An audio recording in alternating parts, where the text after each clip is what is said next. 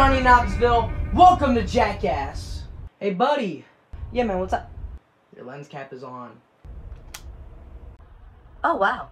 But anyways, guys, Welcome to Jackass. I'm Johnny Knoxville. Let's go do some stunts. how do all these crazy guys keep getting in here? The door is closed.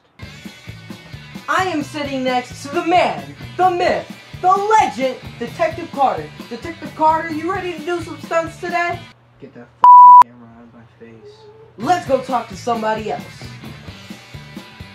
And this is me standing with one of the coolest guys ever descended. Who are you again? Dude, I'm Johnny Knoxville. Can't you see?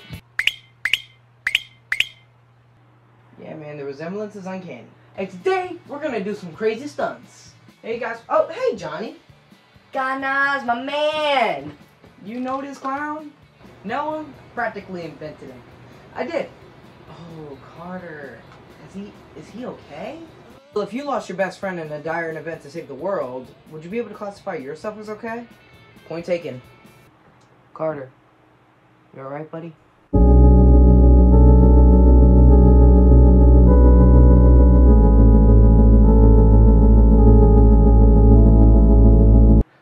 Jesus. He's gone too deep, man. We gotta do something. He's our friend. If only we could find someone that can get through to him.